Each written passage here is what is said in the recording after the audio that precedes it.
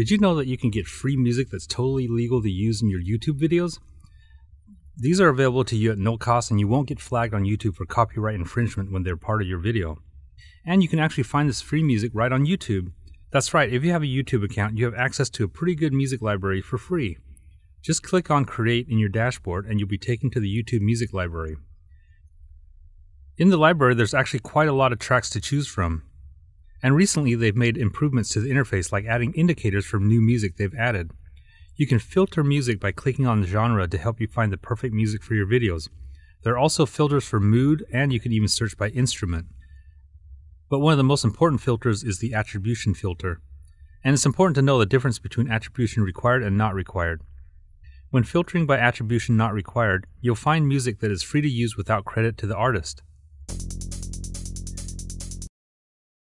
On tracks where there is attribution required, you'll see the credit information listed under the track name when you play it. And this text needs to be pasted into your video description to use it legally. One thing that they finally added is the ability to scrub the audio, a simple but useful function that wasn't there before. There's even some sound effects, but personally I don't find any of them very useful. And lastly, to download a track, just click on the down arrow at the far right of the track. So now you have a growing library of free music tracks right in your YouTube dashboard. Really helpful when you're on a tight budget or a no budget production.